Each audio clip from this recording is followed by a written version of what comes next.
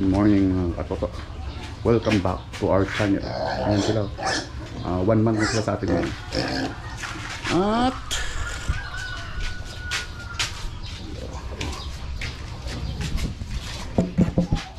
Iba at ah, at magba-vitamins tayo ngayon mga katoto.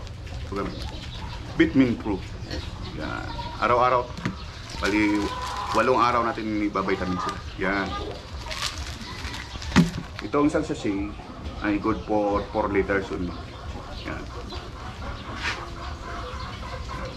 One month na sila, mga more than 25 kilos. At saka may, siguro abot yung iba dito 30 kilos. Mga katoto. Ano lang dyan ay tamang pakain. Tsaka kailangan sa tubig din, tama rin yung iniinom nila. Ganun lang. Talaga. First time natin eh. Kaya nanonood din ako sa ibang channel kung paano ginagawa. At saka nagpurga ako nito nung ano 25 pinurga ako ng ivermectin injectable hindi ko lang sila pinaliguan ng 3 days. Ngayon, pwede na sila paliguan. Pero mamaya, mga alas 10, paliguan natin sila. At uh, magbibigay tayo ng kanilang merienda mamaya mga katoto. Yan. Yan muna ang update ngayon.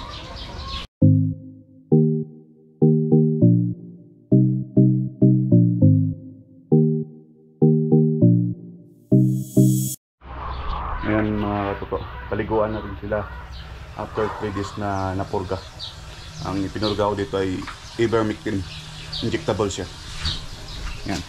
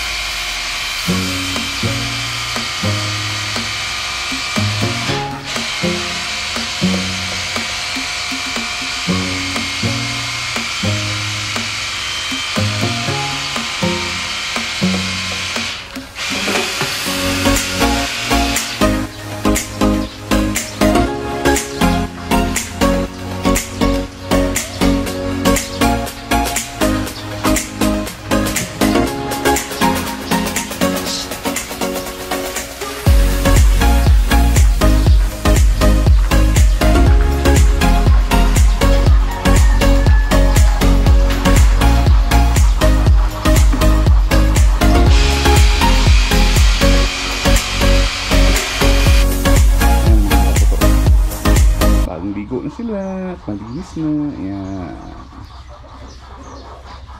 Mamaya, pamarindahin natin sila. Alas. Chismita. Ang ito, pangalawang sako ng premium half starter kits. Pangalawang sako natin ito. Dito natin tapos yung tilags. Ayan sila.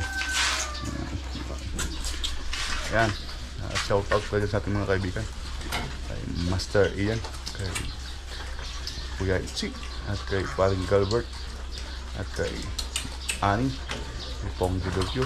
Kay Mark Foras. Mga kaibigan natin dyan Kali. Mga tropa ko dyan. At alam nyo sino kayo. Maraming salamat sa inyo. Support. Thank you.